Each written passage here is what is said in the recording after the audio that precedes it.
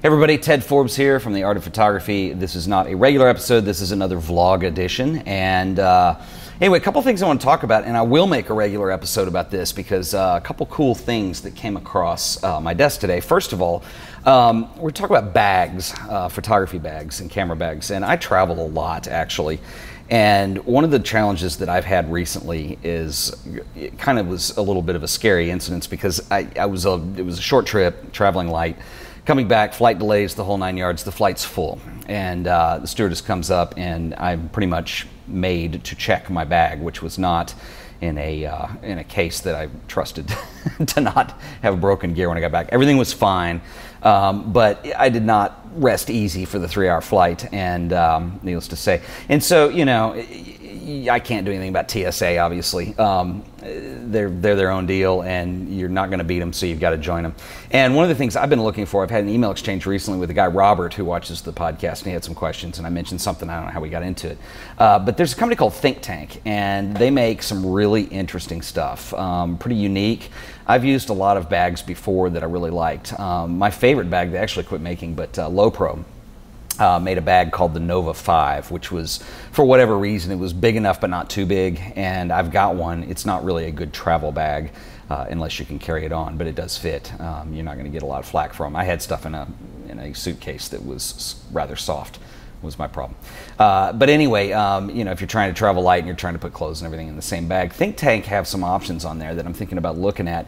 And I went to their website and checked it out, and they've got a lot of really cool looking stuff. And I want to try a couple of their bags, and um, you know, really interesting stuff and highly recommended. This guy Robert that I was emailing back and forth with, you know, he was like, "Yeah, totally love them. They're great."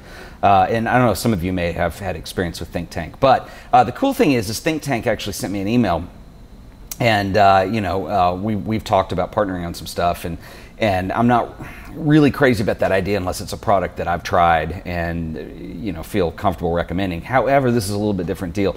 Uh, they sent me a deal and they were willing to view uh, make an offer to viewers on here um, for uh, a test drive, and they make some sling bags, and one of them is called the Sling-O-Matic, and there's three sizes of this. And basically, what the deal is, and I thought this might be beneficial if anybody was wanting to try it. Um, uh, you'll basically any order that you have over fifty dollars, they'll throw a free gift. I don't know what that is, uh, but hey, you know, something for nothing isn't too bad of a deal. But the better deal in here is that you can order a Sling-O-Matic and you can test drive it free for thirty days. So this is kind of nice if you live in a neighborhood or, an, or neighborhood in an area or a city where you don't have a physical camera store that has Think Tank that you can go check out. Uh, so what you can do is, you know, um, you know, commitment free for 30 days. This offer runs from now until the end of August of this year. Uh, if you're watching this video uh, late, this is 2012. Um, so anyway, you can try it, and I'll give you a link on that if you want to uh, try that as an offer. I'm probably going to do it myself uh, because you know if you don't like it, you send it back. And uh, the link on that that I will give you is uh, I will put it if you're watching this on YouTube, you'll see it in the. Um, I'll put a link here, uh, but the link is theartofphotography.tv, which is my website. Theartofphotography.tv slash slingbag. And like i said you'll see a, a, link right here that you can click on. So if you click on that link uh, you know you can you can try one of these bags out for 30 days um, see whether you like it or not. If you like it you can buy it. If not then uh, you know no commitment. Uh, so pretty good deal. Um, there aren't a lot of companies that are willing to do something mail order like that which i think is kind of cool. So anyway um, so click on the link if you're interested in that and check it out um, anyway i'm, I'm really uh, I'll probably uh, go ahead and try the, the, the 30 day test drive on the sling bag, but they've also got some airport bags and some stuff that are pretty cool. And I do have a code for that too if you want to do the, uh, it's the free gift thing, any order over $50. I don't know what the free gift is, but uh, the link on that is just theartofphotography.tv slash think tank, and that'll uh, that'll give you the info you need to set it up. And I'll put that link here too. So the sling bag is the is the 30 day trial on on any of the sling bags. And like I said, there's three models of them. They look really cool, um, and you know I'm going to check out Think Tank. If you guys have had experience with Think Tank, uh, you know leave a comment below because uh, you know other readers will see that, and uh, you know you can say if you like them or not. I've heard really nothing but good things, so I'm really interested in, in trying one out. Um, anyway, so that's it for bags. Uh, the second thing I'm going to move on to, it's it for bags for now. Um, I will report back because uh, traveling on an airline with camera gear, um, I, I haven't found a perfect way to do that. I'm, I'm real funny about it because when I'm in an airport, uh, when I'm traveling, I, I, don't like to carry a ton of bags with me. I just don't like to fool with it. I try to travel as minimally as possible, and that's just me. I don't want to mess around in the hotel room and have to pack it all back when I leave. So I take as, as little as possible, and it's hard when you're taking photography gear. Um, anyway, moving on from bags, the other thing I wanted to talk about today, we're going to do a little show and tell. Uh, somebody had asked in one of the recent vlogs, uh, you know, maybe a good idea would be to, uh, you know, show some of the camera collection, things like that. And is you guys who watch the show and follow the the um, the vlog and all that stuff know uh, that uh, you know I, am really not into camera reviews on recent stuff. I mean, there's plenty of places you guys can find it. There's plenty of podcasts. There's plenty of YouTube videos. Uh, if you want camera reviews on something that's uh, you know a newer digital camera that's come out. But what I think is kind of cool is to show you some of my favorite cameras that that are antiques that that you can find uh, certainly through channels like eBay and things like that. Um, but uh, the one I wanted to show you today, this is this is a what's typically known as a folder camera, and this one is it, this is really one of my favorite cameras. this is an old Voigtlander. And don't get confused because Voigtlander, um, there's a company that bought the name Voigtlander, and they're making cameras now, and they're making rangefinders, and they're, they're 35 millimeter cameras, and they're making some very cool stuff. They're owned by Cosina in Japan, I believe, and this isn't that kind of Voigtlander. This is an old, antique, real deal Voigtlander. And to make matters even more confusing, the new rangefinder 35 millimeter cameras are also the Bessa series, B E S S A. Um, and this is an old, this is one of the original Voigtlander Bessas. And it, it, it's an amazing camera. If you've seen, um, well, you'll see it in a second. It, it, folds up, which is the whole idea here behind a folder camera. But it takes medium format film. It's all mechanical. It's completely manual. There's no meter in here, so it's, it slows you down a little bit. But the photos that it takes are just simply gorgeous. Sharp as a tack. Um, the uh, when when you're using low shallow depth of field, the out of focus areas are, are really beautiful. Um, I don't really like the word bokeh, and I'll explain that in another episode. But anyway, if you're into that kind of thing, um, it, it, really is cool. Uh, these were made. I think this was a late 1930s model, and I happened to find one that was in super fantastic condition. I actually bought it off of eBay. Uh, didn't pay too much for it. I mean, I think the most you'd pay for one of these is maybe a couple hundred dollars if it's one of the, the nicer ones. And I'll talk about some of the differences in these in a minute. Mine isn't one of the completely nicer models. But anyway, it takes um, uh, medium format film, so 120 film, still easy to get. Uh, and the cool thing about it is uh, that it shoots uh, 6 by 9 is the size. So a lot of medium format films today either shoot square photos 6 by 6 or sometimes 6 by 7 which are slightly rectangular. This one's a full 6 by 9 so it's, it, it, it sort of looks like 35 millimeter but the fact that it's got just a really nice lens on it and the fact that it's such a big negative you really get some beautiful photos. So if you want to enlarge them really big this is a great camera to use for stuff like that.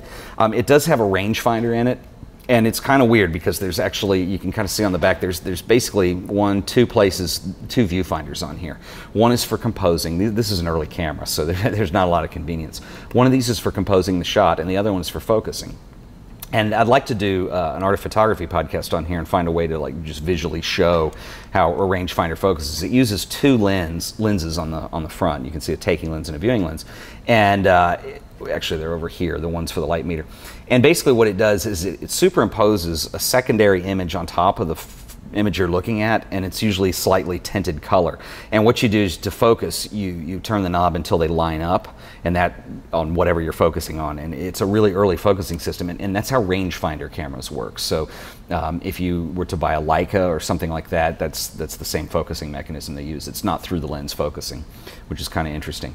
Uh, but I'll go ahead and open this up so you can see. Uh, these typically are known as folder cameras and when you unfold it folds out like that, and it has a bellows system. And what this is really is just a little tiny mini um, large format camera. You know, it, it's, it's very similar. You have everything is built into the lens, all the mechanics, um, the shutter, everything is up here. The shutter is not back in the back.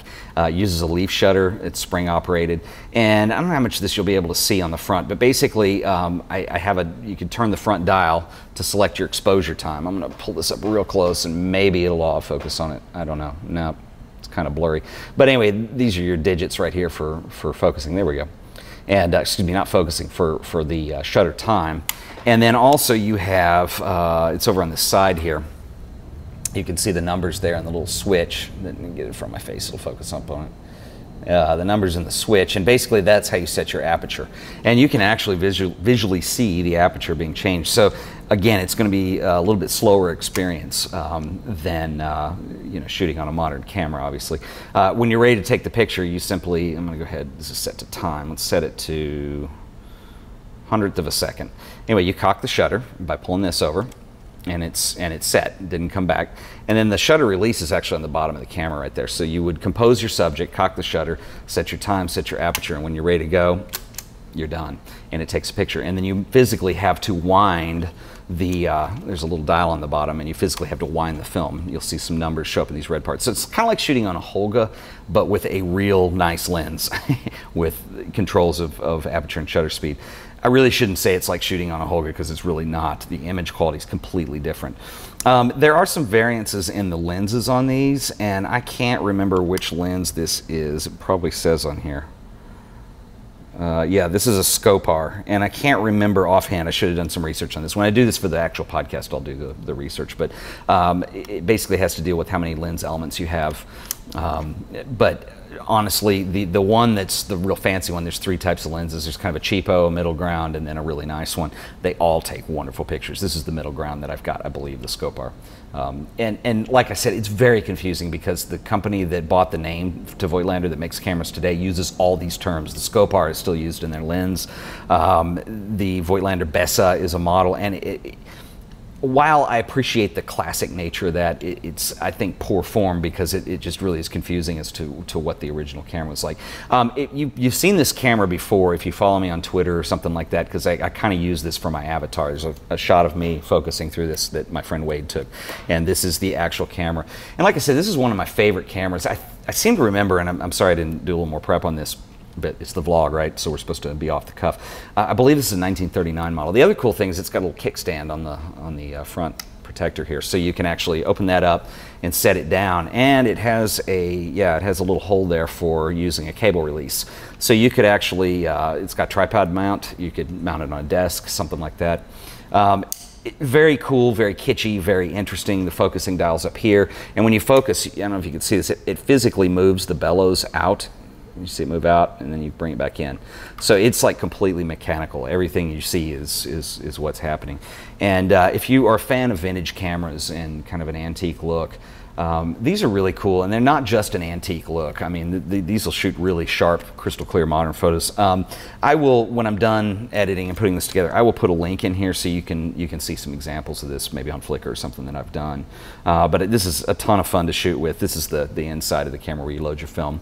You've got a taking spool and a receiving spool, and uh, it's just. Uh, I really uh, can't say enough cool stuff about this camera. You know, it's not as, as hip or cool as like a Hasselblad or something, but I mean, the image quality on here is pretty dang close. It's, it's amazing. And it, it's cool. And the other cool thing that I like about it is that for the most part, there's a release there under the lens. So you pop that down and it all folds back down. It's relatively compact. Uh, you're not going to fit this in a shirt pocket, but you could certainly slide it into your pant pocket if you wanted to do something like that. Anyway, it's, it's really easy to carry around. Uh, these originally came with the, you know, the little leather, leather um, they called them an ever ready case. I call them never ready because they really, I mean, I have one over there that I, I store it in when I'm not using it. Uh, but anyway, rangefinder, uh, completely mechanical and, and I mean, just such a highlight. They're, they're, like I said, there's three models of this camera depending on the lens, and then later on, Voigtlander um, actually made some variants on this. So there's a Bessa 2 and a Bessa 1. This is the Bessa with no number. It's the earliest one. Uh, a little harder to find those in good condition, but if you're patient and you look around, you certainly can. And I will find a link to it and I'll put it on here, but there is a guy, well, I know what the link is. It's Certo 60, no, Certo 6, sorry. Certo 6 was another brand of, of folder camera, and there's a guy and I'm blanking out on his name, but uh, anyway, he makes his living refurbishing these cameras, and they're not real cheap. They're a lot cheaper than a digital camera, let's just say, an SLR, um, a couple hundred bucks usually. Uh, but he does excellent work. He'll do repair work on these uh, if you ever need it. Uh, you probably will just because these are old cameras. Like I said, mine was in really good condition. I don't know if it's been serviced or not. Um, I haven't had to service it yet. Shutter speed's pretty accurate, uh, surprisingly, for a camera that is old, um, over 70 years old, I guess, at this point. So anyway, very cool. Actually, if this is a 39, that was the year my dad was born, which is kind of cool too, because uh, you know there's another equation you can do. It has a little little handle on the side that's kind of cool. Anyway, but uh, that's kind of you know something from the camera closet. I don't really have a formal camera closet. I have a plastic shelf thing with drawers and I keep things in there. And, you know, I don't want to do a ton of them today because, uh, you know, I've been dared to vlog and I need more material. So we'll do some more on other days. So anyway, so a little bit about bags, a little bit about the Voigtlander Bessa. Um, cool cameras. So check it all out and uh, I uh, hope you guys are digging this. Leave me a comment below. Let me know what you want to see on here. I mean, the vlog is anything goes. It's just off the cuff. I don't really prepare for these. Literally, I'll grab one or two things like I did today and turn the camera on and go. Yesterday, I filmed everything in my car. So anyway, it's, it's sort of been the art of photography. Thanks for watching, but it's been the art of photography vlog.